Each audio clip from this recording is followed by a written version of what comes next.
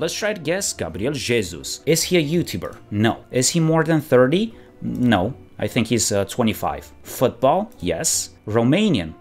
I mean, I know that you like looking at my IP, but no. Linked to the Prem? Yes. From England? No. Linked with Manchester? I mean, he played there, but I'm not sure if Akinator knows about the latest transfer, so let's say probably. Belgian? No. Portuguese? No, but he speaks Portuguese. A striker? Yes. Norwegian? It's not uh, Haaland. Brazilian? Yes. Playing for Manchester City? Again, let's assume that he doesn't know, so let's go with yes. A defender? No. And it's Gabriel Jesus. There it is.